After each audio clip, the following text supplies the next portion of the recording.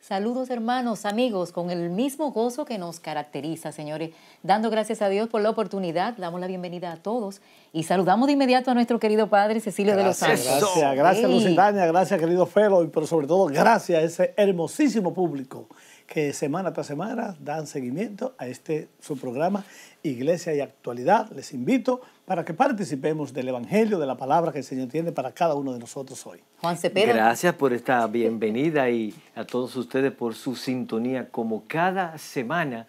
Y ustedes saben que estén atentos al mensaje del mes del Papa. Señores, continúen pues con nosotros, vamos ya pues con lo que acontece durante toda esta semana, la actualidad. No se vayan, quédense con nosotros.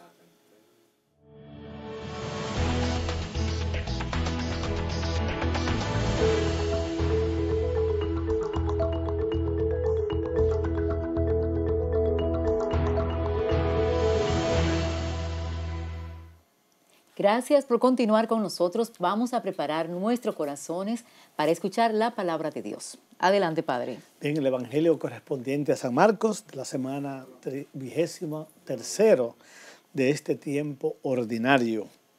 En aquel tiempo dejó Jesús el territorio de Tiro y pasó por Sidón, camino del lago de Galilea, atravesando la Decápolis y le presentaron un sordo que además apenas podía hablar y le piden que le imponga las manos. Él, apartándolo de la gente a un lado, le metió los dedos en los oídos y con la saliva le tocó la lengua. Y mirando al cielo, suspiró y le dijo, Efetá, esto es, ábrete y al momento se le abrieron los oídos, se le soltó la traba de la lengua y hablaba sin dificultad. Él les mandó que no lo dijeran a nadie, pero cuanto más se lo mandaba, con más insistencia lo proclamaban ellos. Y en el colmo del asombro decían, todo lo ha hecho bien, hace oír a los sordos y hablar a los mudos. Palabra del Señor. Gloria, a ti, Señor Jesús. Bien, mis queridos hermanos y mis hermanas, qué hermoso es poder escuchar este Evangelio donde Jesús nos habla al oído y nos habla al corazón. Y nos reitera esta palabra que las obras que Jesús realizó cuando caminaba por el mar de Galilea, por Cafarnaúm, y todas aquellas zonas siguen realizándose en nuestras vidas hoy.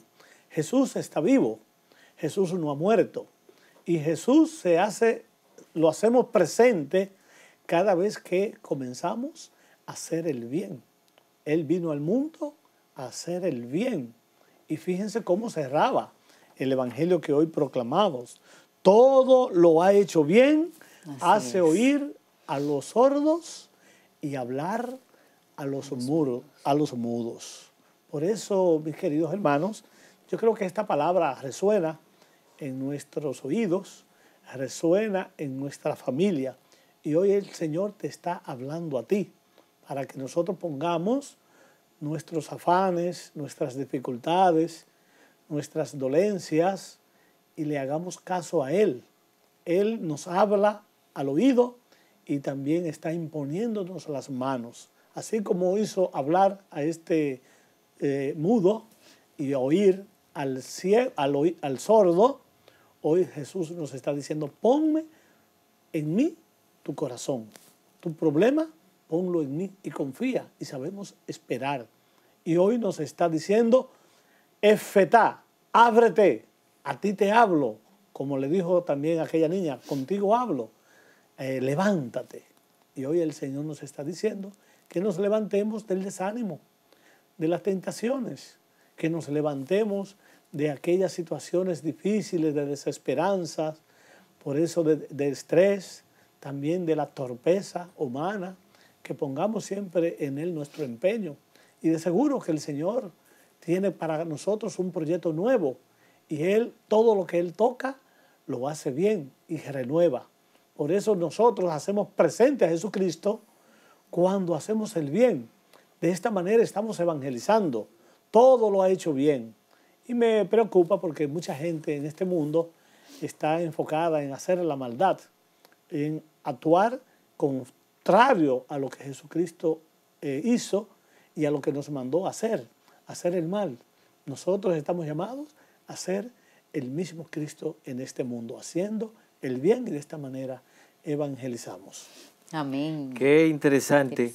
Así, así hay una frase de la oración que se reza pidiendo la, la beatificación del Padre Emiliano. Se, se, pasó, pasó por el mundo haciendo, el, bien. el, bien. Y miren, señores, a veces esa comodidad en la que está hoy el ser humano, miren cómo Jesús tiene que atravesar de una región a otra, de un lugar a otro, para evangelizar y llevar la buena nueva. Y como decía el, padre, el padre Cecilio, cuánto poder. El Señor está vivo, Jesús está vivo. Y vemos, hermanos, que para esto es una sanación física, es una sanación, digamos, también social, de integración, otra vez, porque eh, piensen en un sordo, en un mudo, en alguien que no puede hablar, siempre está marginado. Nadie les entiende. Ahora, cuando llega la palabra, cuando llega el verbo encarnado con ese poder, hacer que nuestros oídos, muchas veces físicos y también interiores, se destapen, podemos escuchar la voz del verbo, podemos escuchar a los demás, podemos integrarnos y hablar sin dificultad. Padre, sin dificultad, eh, hablar sin miedo, con propiedad. Jesús es el Señor, el único que nos puede reivindicar, el único que no nos juzga. Y vemos algo importante, Padre, el poder de la intercesión. Miren cómo el, la, y la, y la participación de la, de la comunidad. E impuso la mano. Impuso la mano. Miren cómo esta comunidad le presenta este problema. Es decir, que el Señor tiene el poder para hacerlo todo, pero necesita de nuestras manos, necesita de la comunidad, necesita de nuestra colaboración para hacer la obra. Necesita mi oído, necesita todo, eh, toda mi voluntad.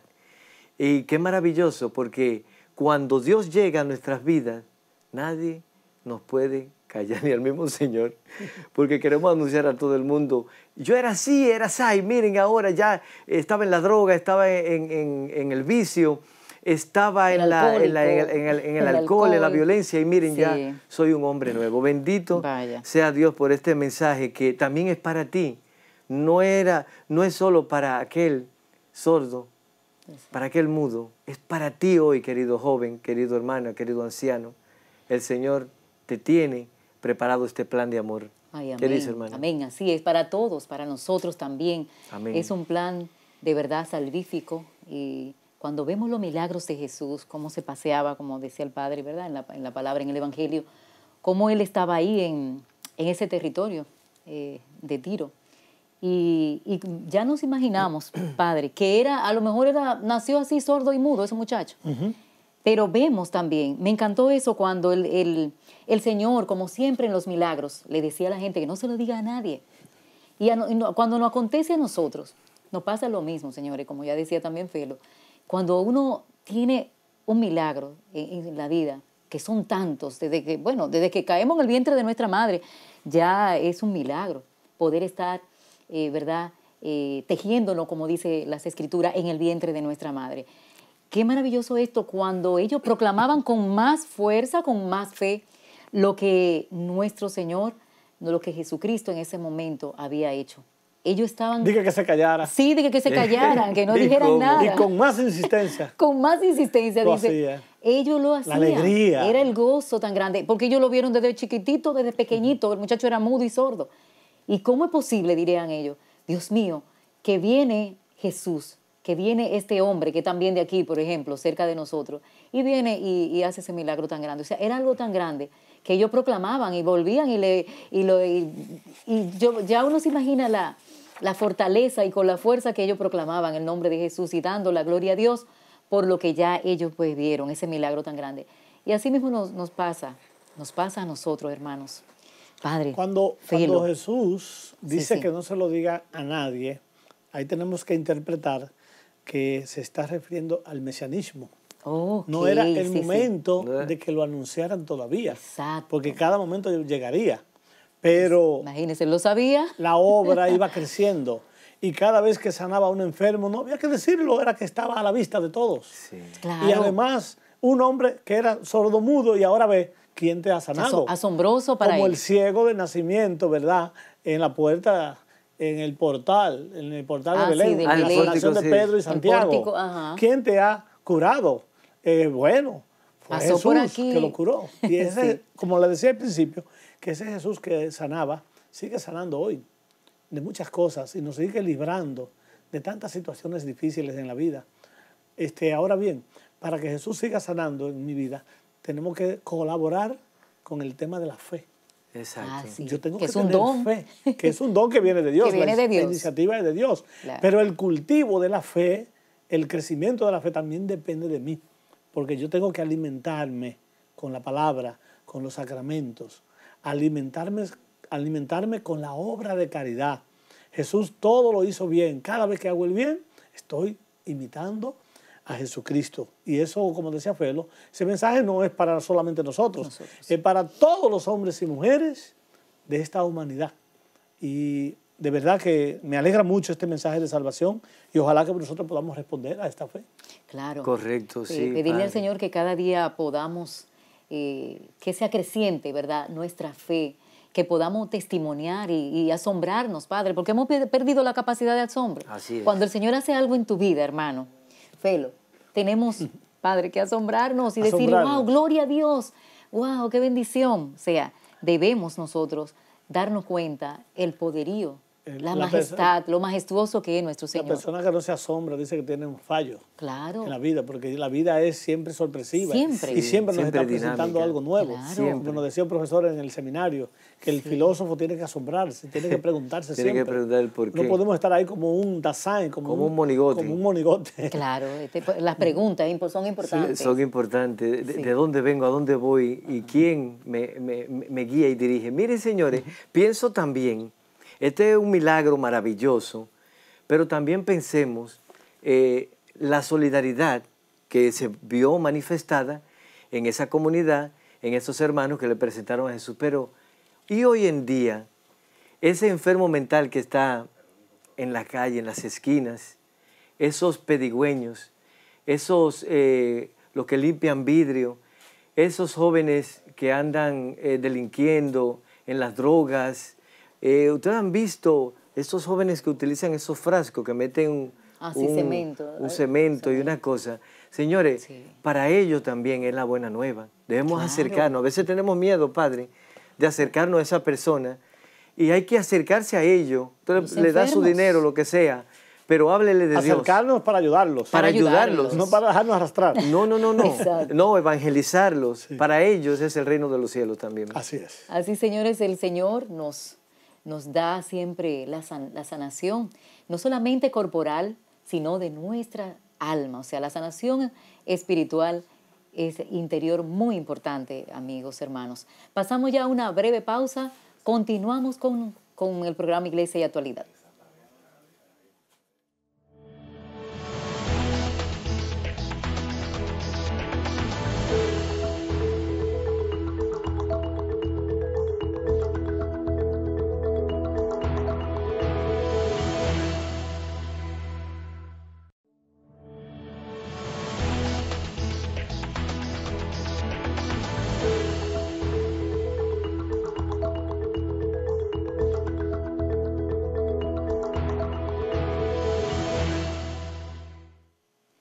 Gracias por mantenerse con nosotros, señores. Ahora vamos a invitarle a ver el video del Papa. Veamos.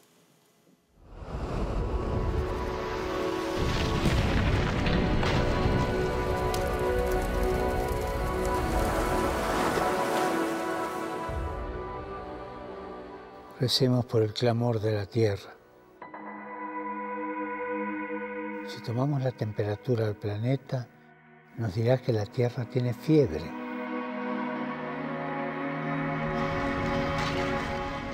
Y se encuentra mal, como cualquier enfermo. Pero nosotros escuchamos este dolor Escuchamos el dolor de los millones de víctimas de las catástrofes ambientales. Los que más sufren las consecuencias de estos desastres son los pobres, los que se ven forzados a dejar su casa por inundaciones, olas de calor o sequías. Hacer frente a las crisis ambientales causadas por el hombre, como el cambio climático, la contaminación o la pérdida de la biodiversidad, pide respuestas no solo ecológicas, sino también sociales, económicas y políticas.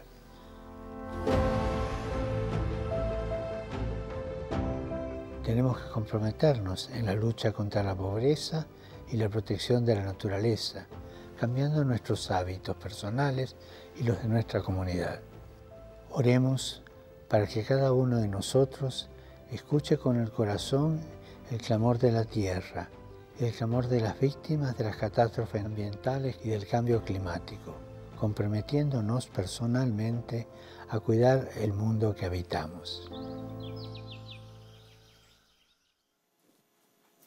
Queridos hermanos, este hermoso mensaje que el Papa nos trae, eh, que es el mensaje del mes, que propone por el clamor de la tierra.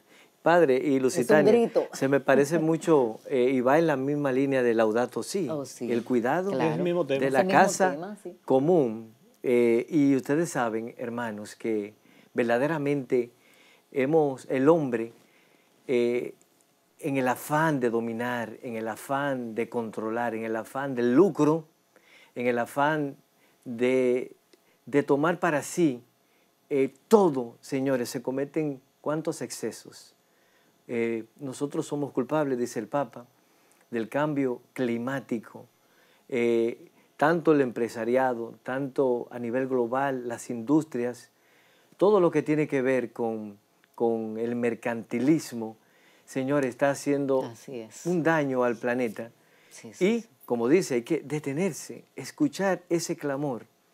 Y la misma, ese mismo clamor eh, es lo que podemos visualizar en cada época del año, con lluvias muchas veces abundantes, calor de manera exorbitante y, como dice el Papa, la tierra tiene fiebre, tiene alta temperatura y cuando tenemos alta temperatura en el cuerpo, todo el cuerpo de nosotros se desequilibra. Eh, perdemos, eh, eh, digamos, el equilibrio. nos deshidratamos. No deshidratamos. No volvemos nada. Entonces es importante, hermanos, que hacer frente y hacer un llamado a todos los que verdaderamente tienen en sus manos el poder para cambiar este asunto y pone elemento económico, pone elemento, eh, digamos, eh, sociales, eh, pone también el elemento político. Los políticos que muchas veces se desenfocan de, lo, de, lo, que verdaderamente tiene importancia y se van por las ramas. Se sabe que cuando hay estas granceras, granceras, ¿verdad que se llama? Sí. Acabando con los ríos, y, muchas, y, lo ven todo el mundo, menos las autoridades. Cuando se meten los invasores a áreas protegidas, a, deforestar, a acabar. ellos lo ven. Señores, y falta de, supervisión, falta de voluntad y de conciencia hasta de nosotros los pequeños, Padre. Hemos visto, queridos hermanos, cómo eh, personas bajan el vidrio y tiran botella, tiran un vaso plástico, ¿Y todo eso a dónde va? Al mar. Al mar, al río, a la cañada. Entonces necesitamos crear conciencia. Pero, Padre, además de la conciencia, eh, orar para que el Señor nos ayude verdaderamente a ser sensatos. ¿Qué padre, eh, ¿por qué será que, de verdad, porque esto es político también, obviamente la política tiene que estar, uno viene en presidente, sale en presidente y uno no ve que le hacen frente a, a lo que es cuidar el medio ambiente?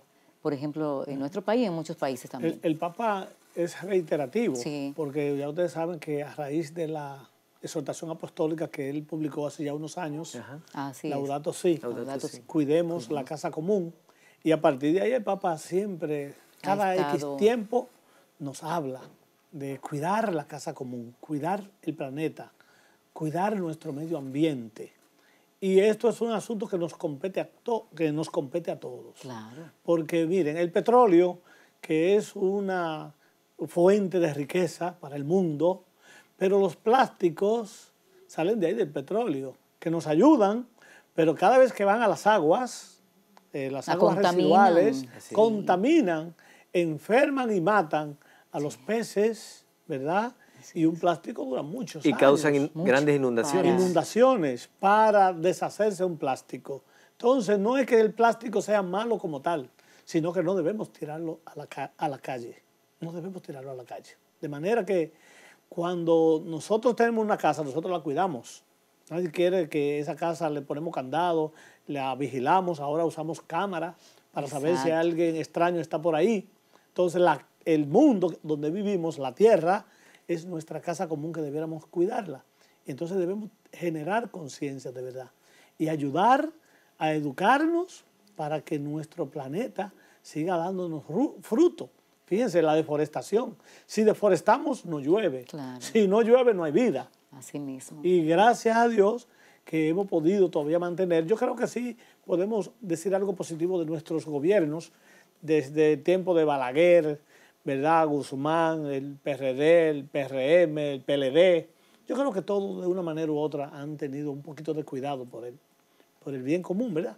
El medio ambiente. Nosotros hemos crecido un poquito con, en ese tema, pero nos hace falta más, porque no solamente vegetación, la grancera, ¿verdad? Que sacan las la arena, ahí, no hemos crecido, ahí no, ahí no. hemos crecido, pero en, el, en la suciedad de, de, la ciudad Uy. no hemos crecido. No, ¿Qué podemos hacer? De verdad que eh, me llega a la mente, por ejemplo, el año pasado que estuvimos de misión en Costa Rica, me encantó el país porque ellos cuidan mucho, cuidan mucho, eh, cuidan las calles, o sea, de la basura. De hecho, cuando uno va a los supermercados, usted no puede que, eh, creer que usted va a tener una bolsa de esta de plástico, no, ellos no usan nada de eso ya. No. O sea, ellos están de verdad cuidando mucho su medio ambiente. Y, por ejemplo, los árboles, es muy difícil que corten los árboles así por así. Yo creo que debemos copiar de Costa Rica, de ese hermano país, que podamos nosotros los dominicanos también, porque como dice el padre, realmente no nos hemos descuidado tanto, tanto eh, en nuestro país, porque vemos que hay cosas que, que sí, por ejemplo, ese, esa, esa, eh, estos funcionarios que tienen que ver con el medio ambiente, vemos que, que, son un poco rigurosos, sí, pero eh, se nos va de la mano, por ejemplo, en la, en la, ciudad capital de acá de Santo Domingo, ustedes que nos escuchan de otro país, ¿Por qué? Porque vemos, como decía Felo ahorita, que la educación, o sea, la indisciplina. Cualquier persona va, de verdad, uno puede ir a un lugar y tú ves que fácilmente por una ventanilla del vehículo te sacan y tiran un papel eh, o un vaso de plástico. Lucitaria, cuando yo estaba creciendo en mi casa, el papá mío que pregaba con madera, él cortaba un árbol, pero él lo reponía. Lo reponía, eso, es lo que se debe hacer. Esa es la dinámica. Se puede cortar el árbol, pero reponerlo, porque la naturaleza en pocos años y, los mismos animales a veces no van a tener sombra, entonces, entonces eso es muy importante, eh, la tala de árboles, volver a sembrarlo. Eso, es un gesto muy bonito de amor hacia la verdad, hacia esta, nuestro planeta Tierra y hacia, nuestro país. Sí, si hacemos un recorrido por, la, por las cordilleras ¿verdad? de República Dominicana, eh, gozamos de, un gran verdor, pero, pero, pero vemos en ocasiones como unos sembradíos, ¿verdad? Vemos como eh, humareda. porque eh, hay personas haciendo carbón, haciendo conuquismo. Ah, Entonces, pero esta gente, ¿verdad? Y para eh, hacer carbón, vemos que... Para hacer carbón. Entonces, esto hace un daño grave al este, ecosistema. Daña, daña todo, daña el aire, daña la atmósfera, daña la biodiversidad, los animalitos, nos daña a nosotros. Es un grito de verdad. Y, mira, eh, anduve por ahí, por Cotuí, y estuve mirando oh, esas montañas, eh, algunas ah, montañas calvas, padre. Un, lingote de oro, tú No, padre. Unas montañas calvas, qué, qué horrible. Sí, sí que le han sacado el jugo. Le han quitado todos los cabellos. Esperamos en Dios que, que haya, que, que, exista el mecanismo para que esto pueda eh, rehacerse, restaurarse, porque el testimonio o, el ejemplo más claro lo tenemos en Haití, que han perdido casi la capa vegetal eh, por, la falta de, cuidado. Está un poco desértica los sí, Sí. Y, ellos son más que nosotros o sea en que, cantidad. O sea que como usted dice, ciertamente hay que valorar que en estos años de democracia que ha vivido la República Dominicana, todavía podemos gozar de, de miren, por ejemplo, en Santo Domingo tenemos el Mirador Sur, el este, el norte, Jardín Botánico, el Jardín Botánico. tenemos, o sea, los jardines del norte. Gracias a Balaguer, padre. El mismo zoológico, padre. No, no, no, Balaguer hay que sacarle su... el mismo zoológico. Balaguer hizo, Oye, el zoológico. de aquí hizo mucho Balaguer, bien. verdaderamente. Miren, miren, por ejemplo, los jardines del norte. Ah, sí, es un modelo casi a, nivel de ciudad. Cómo se mantienen esos parques verdecitos. Eh, y la gente son muy celosa también de, sus de las áreas. De ah, de las áreas. sí. Eh, a pesar de que hay algunos también que quieren robarse cosas. Que quieren, exacto, beneficiarse. meten talleres. Sí, realmente. Meten cosas raras. Mire, muy bonito el, el, clamor, como dice el Padre, que escuchemos el corazón del clamor de la tierra, o sea, que eh, es verdad, un verdadero grito que ya eh, eh, Señor, en la tierra está dando. y tenemos que sí, tiene fiebre porque el calentón. La temperatura, sí, se necesita jarabe, se necesita el jarabe ya para que le baje la fiebre. Padre, después de 37 ya es fiebre. Dios es tan bueno que nos sigue enviando la lluvia. La lluvia, porque miren, estos días, por ejemplo, aquí en República Dominicana hemos tenido una cuanta lluvia y la temperatura Aquí en la capital está más bajita. Y gracias a Dios que no ha sido catastrófica. Gracias a Dios que no, así es. El Padre también convoca a nuestro Santo Padre, el Papa, a que oremos también por esta eh, disciplina de cada persona, ¿verdad? De, cada eh, ciudadano. Tiene que también darse cuenta. Y es un llamado universal. sí, sí, claro. A todo el universo. Universal, Nosotros defendemos nuestra patria, nuestra república. A cuidar. Así es. Y, él pide también que nos comprometamos en la lucha contra la pobreza.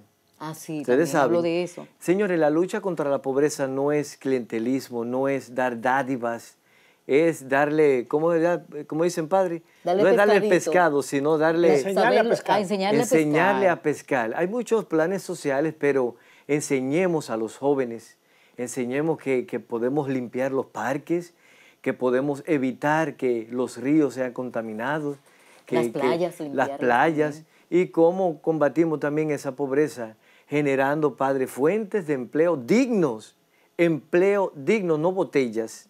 Así que ah, eh, como hay un nuevo periodo presidencial, aunque el nuevo gobierno, que sean cuatro años que se pueda reforzar estos ejes ¿verdad? de cuidado del medio ambiente, luchar contra la pobreza y también, Padre, educar. La educación. La conciencia ciudadana se ha perdido.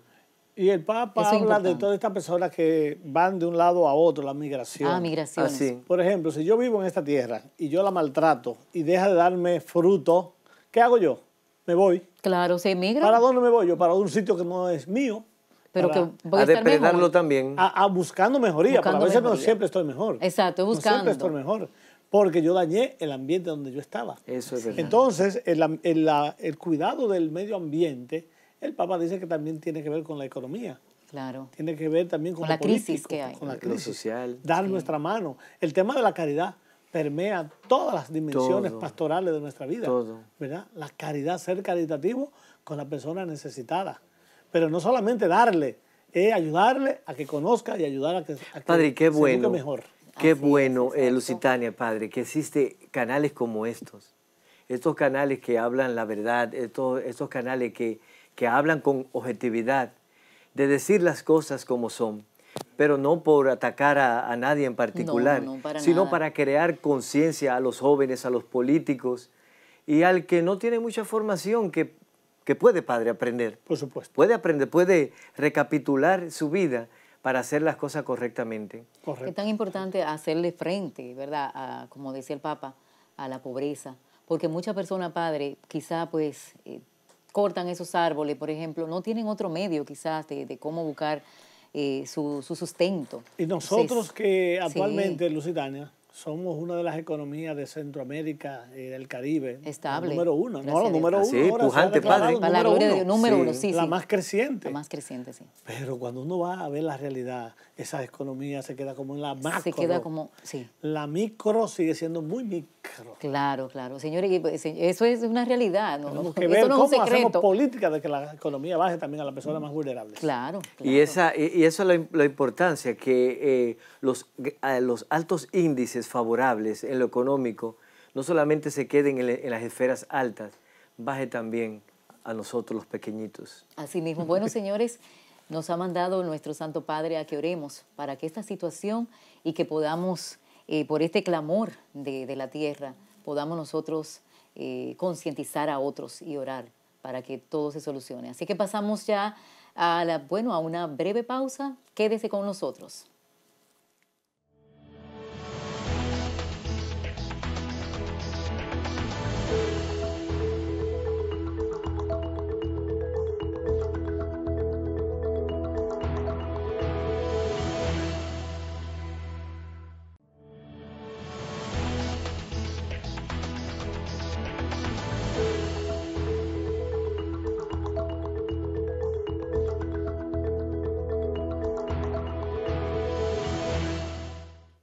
Gracias una vez más por mantenerse con nosotros en sintonía en este su programa Iglesia y Actualidad.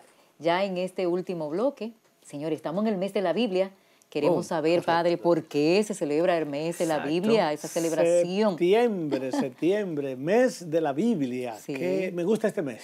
También a mí, sí. Me gusta este mes porque es el mes de la Biblia. Ustedes saben que se celebra la Biblia en el mes de septiembre porque el 30 de septiembre es el día de San Jerónimo. San Jerónimo. y San Jerónimo. Doctor de la iglesia. Doctor de la iglesia. no, y, también padre de la iglesia. Padre de la iglesia. Sí, de los santos padres, padres de la iglesia está San Jerónimo, está San Ambrosio, está San Gregorio, San Gregorio Magno, San, Agustín, Agustín. Entre los grandes. Y San Jerónimo se, es el, hizo una gran obra a la iglesia y al mundo, porque él tradujo la Biblia del hebreo y el griego al latín. Al latín. Y esa traducción se le llama la vulgata. La vulgata o vulgata latina. Sí. Entonces. Que han hecho curso bíblico saben. Exacto, exacto. Padre, y vulgata, eh, el, pueblo, ¿verdad?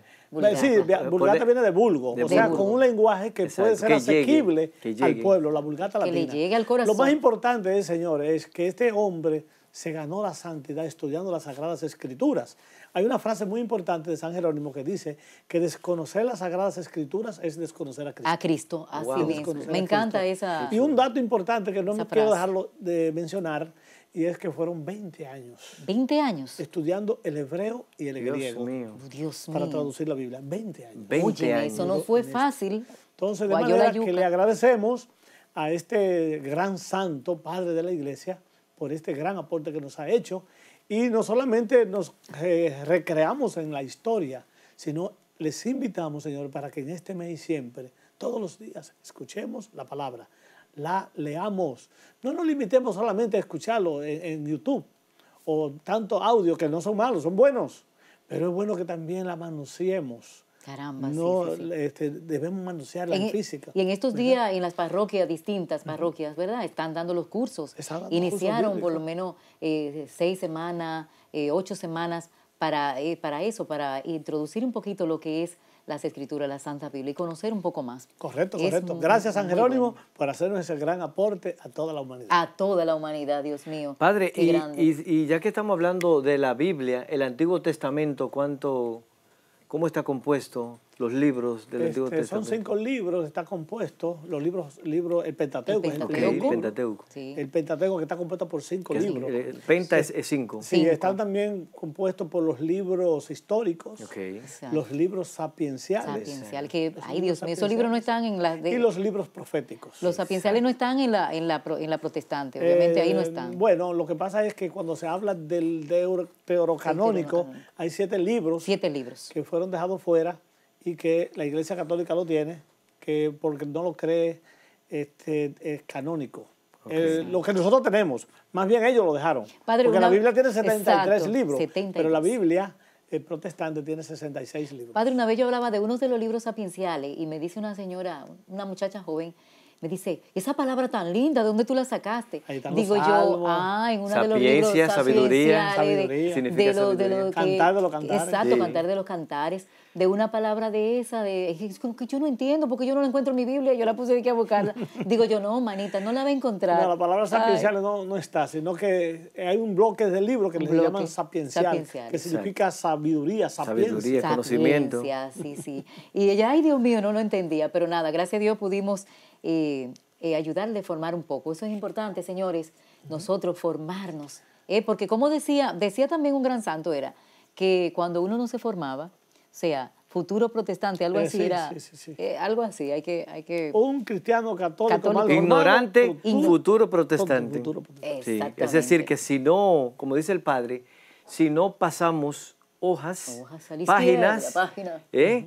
entonces si no conocemos, Padre, para también poder cogerle amor a la palabra de Dios, a la Biblia, tenemos que conocer también la, historia de la iglesia, ¿eh? la tradición, el magisterio, que es quien nos ayuda a interpretar. Y custodia la Sagrada Escritura para que no sea tergiversada. De hecho, qué bueno que la gente conozca que antes de, de la Biblia antes, digamos, del, eh, incluso del Nuevo Testamento y todo eso, lo que era la, tradición oral. Oral, Primero nació oral. Oral. Y después eso que era se oral, transmitiendo. se puso por escrito. Exactamente. óyeme, pero... Sí.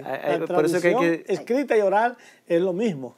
El misterio de la revelación divina plasmado en las Sagradas Escrituras. Y para no, eh, y para no, y para que no podamos desencajar, salirnos eh, nos vamos entonces al magisterio, que nos ayuda. Porque el magisterio es que se encarga como el, el guardián el custodio. de las sagradas escrituras, para que no sea cambiada ni siquiera una coma. Ni siquiera una coma. Ay, Dios mío. Qué, bello, de verdad. Que Así que hay muchos cursos bíblicos y tenemos el INP, el Instituto Nacional de Pastoral, ¿verdad? que está dando cursos en todas las diócesis y que se están activos esos cursos, que podemos aprender más sobre las Sagradas Escrituras. Sí, sí, yo creo que es y hay unas licenciaturas, padre, también que, que, se, que, se, están dando. Sí, de, ciencias, religiosas. religiosas en la católica. En la católica. La Universidad Católica sí, pueden. la Universidad Católica Santo Domingo y también en el Seminario Santo Tomás de Aquino. Okay. Que estudiamos ciencias religiosas. Sí. También un laico puede ir. Y los, los dominicos también tienen... Los dominicos también, sí. Es, muy, es muy buena esa, esa carrera de, de ciencias religiosas porque se aprende mucho. ¿Tenemos algún otro mensaje, verdad? A nivel actual que está pasando en nuestro pueblo dominicano. Exacto, bueno, padre, miren, eh, sobre todo lo que conmocionó la semana pasada ah, a toda República Dominicana, me imagino al mundo, fue ese accidente eh, brutal en Asua, que más que mencionar, que es una, una provincia, más que mencionar y criticar, es crear conciencia, ¿verdad, padre? Correcto, correcto. Eh, porque se ha hablado mucho sobre este accidente, quién es el culpable, quiénes son eh, si son todos, si es el chofer, y verdaderamente hay que, hay que eh, ser prudente, sobre todo ser consciente de que, Padre, esas personas no tenían que estar ahí. O tenían que estar en su casa tranquilos o estar en un establecimiento donde eh, la ruta o, la, circulación de vehículos no pusiera en riesgo sus vidas o las vidas de los demás. No, y la diversión es sana. La diversión sana uno tiene derecho a amanecer si usted quiere bailando y compartiendo con las amistades, pero estar en el centro de la vía. Wow. Debe estar en un lugar. Primero que todas las redes sociales y todos los, los, comunicadores. Atacando. Han, bueno, han defendido al, chofer. Ah, sí, sí, han defendido, han defendido al chofer. que, que él más bien fue una víctima.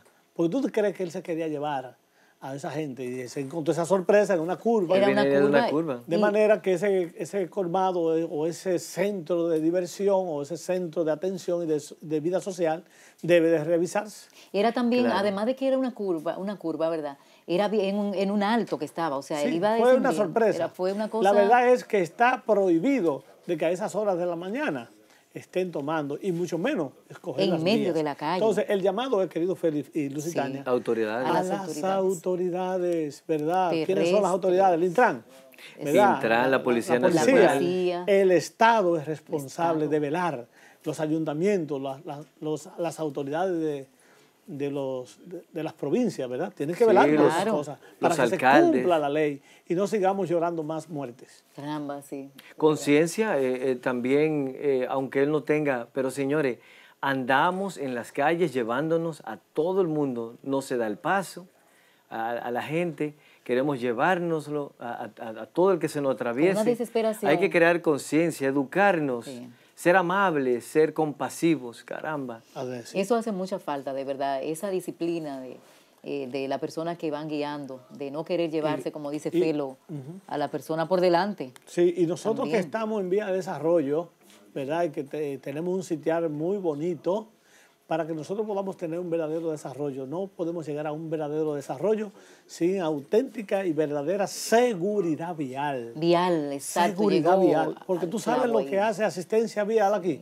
Si a uno se le daña un vehículo, este, lo ayudan a arreglar. Si se le quedó la gasolina, te ponen la gasolina, te lo prenden, que no está mal. Así. Pero es su deber. Necesitamos más de ahí. Necesitamos de patrullaje de las, de, las vías. Claro, parece que como que no está esa supervisión que hace tanta falta. Eso hace falta. Eso parece que no está ese personal, padre. Hay mucha gente, señores, desempleada y necesita mucha gente que pueden hacer ese buen trabajo. No, y el gobierno tiene que dar respuesta a eso. ¿Y, y cuándo? Es ahora. Es ahora, no se puede dejar para después, así es. Padre, se, y se habla mucho de la, de la reforma tributaria ah, que, que, está en proceso, que se está por someter, que, o que ya se sometió. Eh, debates por un lado, por un otro, que, que no, que sí. ¿Qué se debe hacer? Eh, ¿Qué es lo importante de una reforma eh, tributaria, padre? Bueno, yo creo, bueno, el, el, el coordinador general de, de, este, de este departamento, José, José Rijo, Rijo Presbot, Director general del presupuesto. Sí, Exacto. director general del presupuesto dice que no se puede disminuir los gastos, ¿verdad? No se puede disminuir el gasto del capital. Pero yo creo que el, gobierno en los próximos días se va a pronunciar al respecto y va a dar los detalles en qué consiste realmente este tema.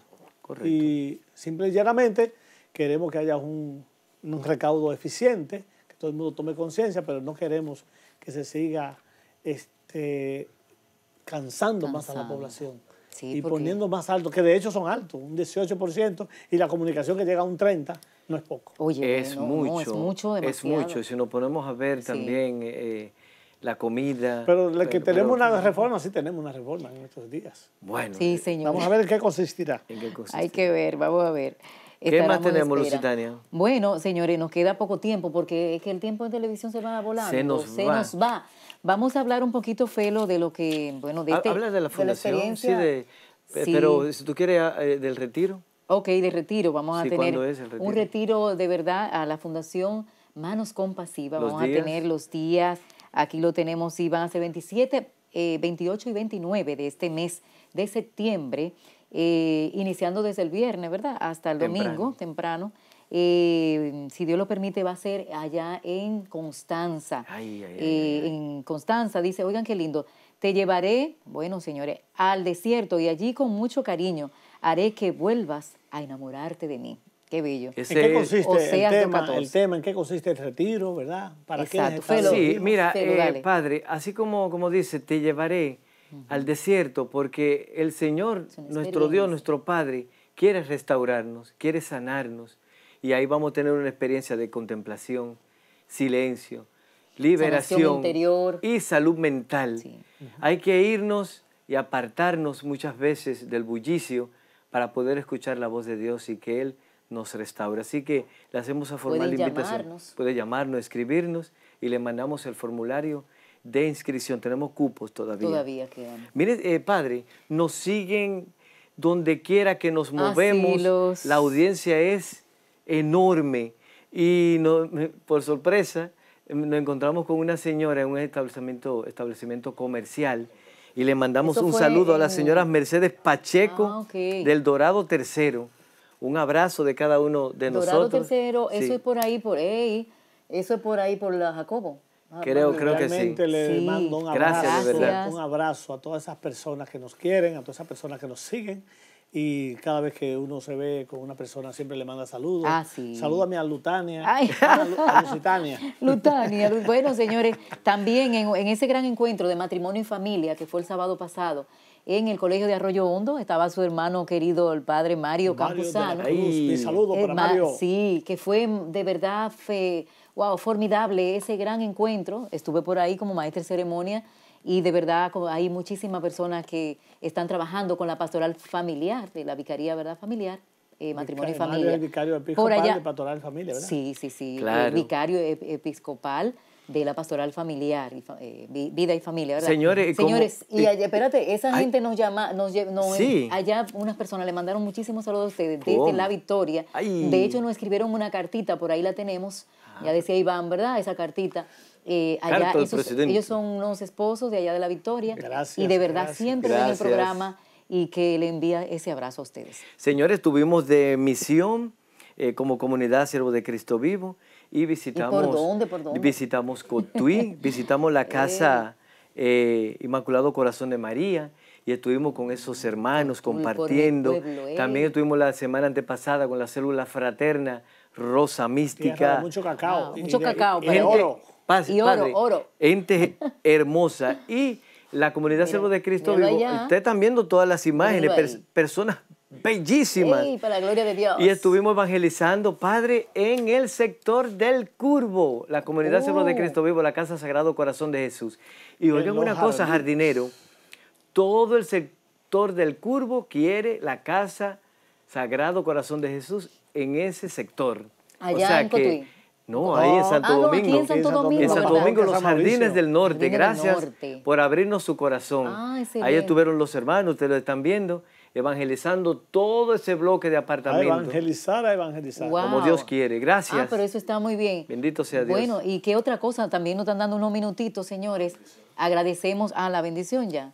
Agradecemos, señores, a nuestra gente de Inmaculada TV. Ay, eh, sí. Y a nuestra gente de RM bueno, a, promesas. Promesa MRC. MRC, promesas. Así Bien, gracias, gracias, gracias. Siervo de Cristo Estuvimos en la parroquia, ¿verdad? Nos hicieron el envío y de ahí para el curvo evangelizar. Gloria a Dios. Gracias. Muy bien, ven. Este, vamos a dar gracias a Dios por esta oportunidad que nos ha dado de poder llegar una vez más a sus hogares y que sea Dios Todopoderoso quien les bendiga hoy y siempre, en el nombre del Padre y del Hijo y del Espíritu Santo. Amén. Amén. Bendito sea Dios. Hasta la próxima. Gracias.